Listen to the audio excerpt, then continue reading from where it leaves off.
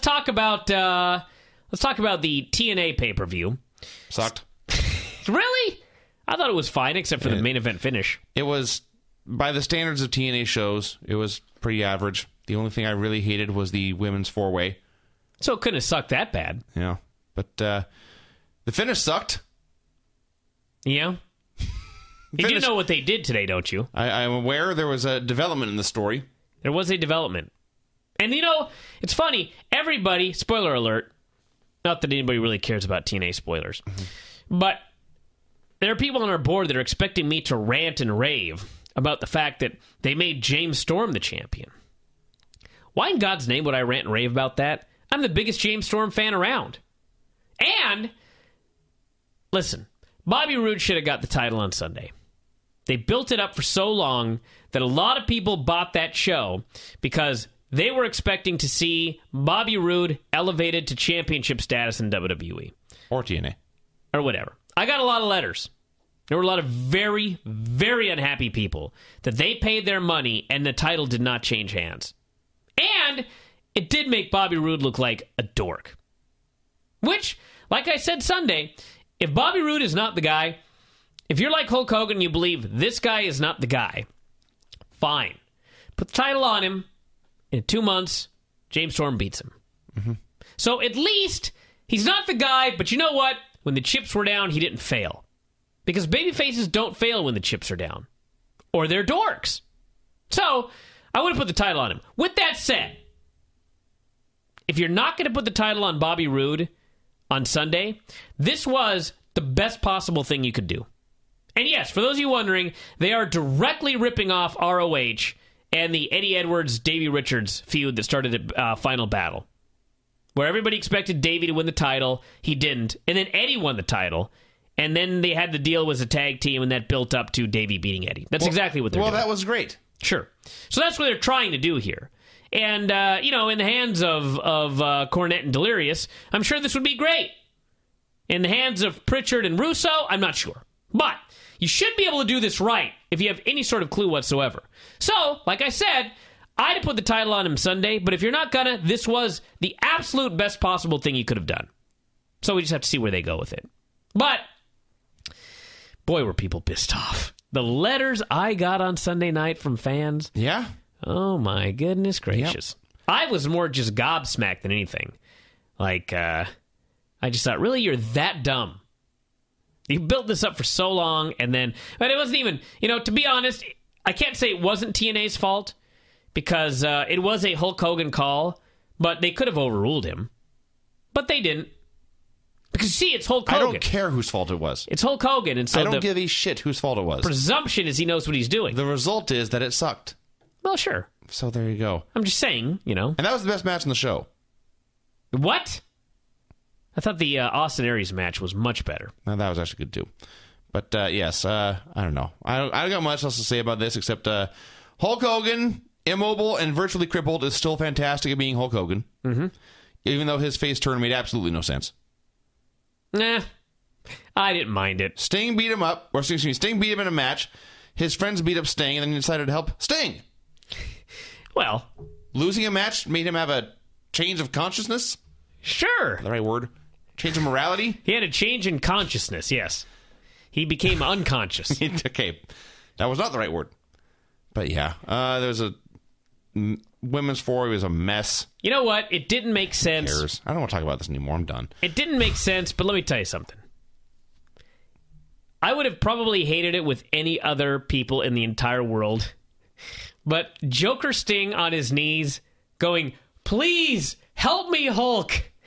Just like, it's like, I don't know. It's so wacky. Well, And then, for some reason, and again, in this case, I don't care why, Hulk Hogan looks to the right. Hulk Hogan looks to the left yes, and everybody starts to cheer. he is still the absolute best in the world at being Hulk Hogan. And you want to know what? In a way, it makes sense. Sting asked for his help, and Hogan looked left, and Hogan looked right, and the Hulkamaniac started to go nuts. And the Hulkster remembered what it was like to be Hulk Hogan, the real American hero. and he looked left and right again and they started going even more crazy. And then he started shaking his fists and they were starting to get on their feet and stomp up and down. And then it was just he couldn't take it anymore. He had to be the old hulkster again. And he ripped off the shirt and they went nuts and he made his big comeback. Hot damn it was great It, it was the best part of the show. it was great.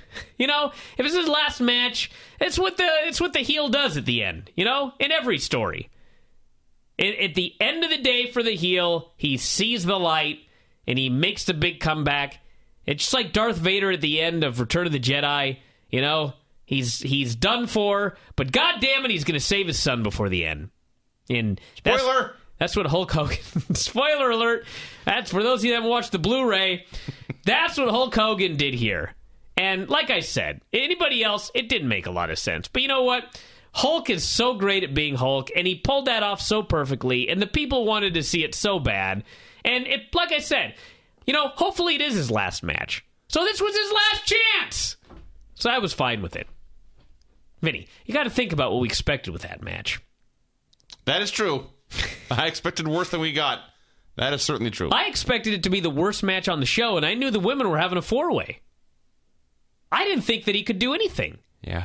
And quite frankly, he couldn't. He but took- he did nothing He took very three well. bumps. He did nothing very well. When the show began, Chris Rising was over here. He asked us, "Do you think Hogan will, Hulk Hogan will take a bump tonight?" I scoffed. Scoffed. Well, I did too, because I didn't think he'd be that stupid. He took three bumps.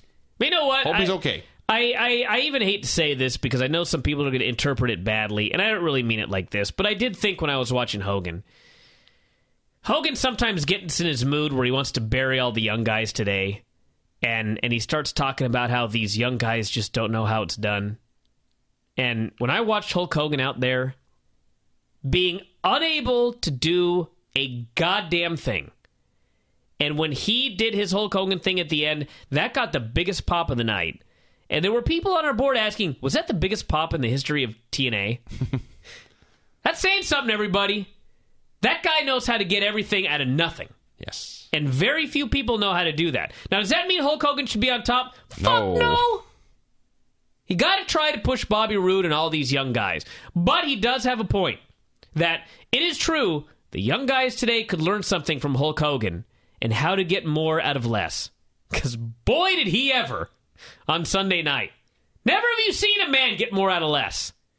So I thought that whole thing was great. But I don't need to see him wrestle again. And the main event finish was stupid.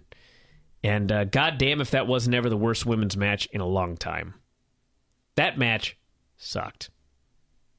What did you rate that match? I, I, believe I, I actually closed my notes. Usually, after I watch a show and you say let's not talk about it, I get upset because I figure I have wasted time watching it. Then today, I do not care. I don't want to. I don't want to talk about any of this. TNA pay per view open. Do you really want to talk about SmackDown? No, I don't want to talk about any. I don't want to talk about any of these shows we watched. They all sucked. I had the women's three way at minus three stars. wow. I only had minus two. I will just read. I, I, I've forgotten everything about it already. I will simply read what my notes say. It was Winter versus Velvet Sky versus Mickie James versus Madison Rayne. For those of you who give a shit, I should add it came after a horrible segment with Eric Bischoff and, and Jackson James, which uh, put me in a foul mood anyway. So, Taz says Velvet gets the crowd quote aroused. Madison uses an object the announcers cannot identify, a napkin or something. Winter breaks up a Madison pin. Heels bicker. Karen, Karen orders them both to tag out. Karen refuses to count their pins, so why are they even wrestling? Now all four women are in the ring. What a pile of bullshit this is. This is getting beyond zero reaction. It takes about six years, capital letters, to spit blood into Karen's face. Mickie with DDT, no ref. Traci arrives. Quote, and I have no idea who I'm quoting. What the hell is going on here?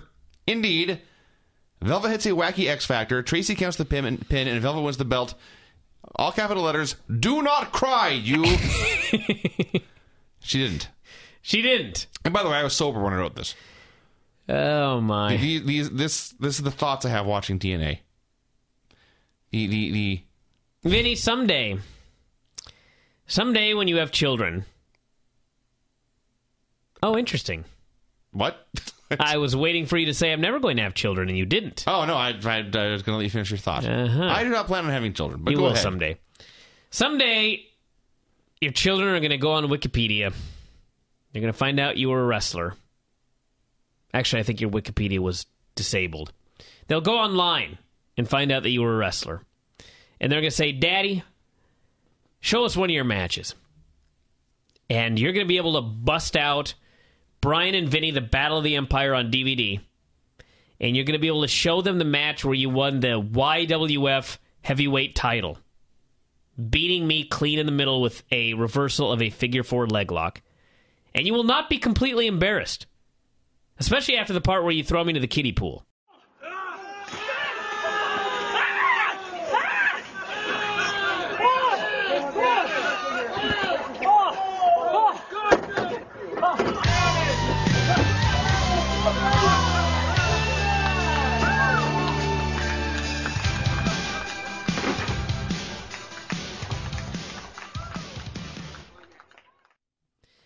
Imagine Velvet Sky someday. When her kids go, Mommy, we saw on your Wikipedia that you once won the TNA Divas Championship. Can we watch that match? Imagine what she's going to have to show those little buggers. That bullshit that we watched on Sunday. That's a sad thing. That's why she didn't cry. She should have cried.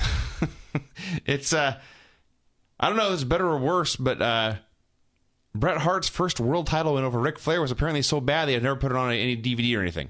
I don't know if that's actually true. I, I think Bret. I think Bret himself has said this. Really? Because I've seen that match and it was not horrible. Hmm. It was not great.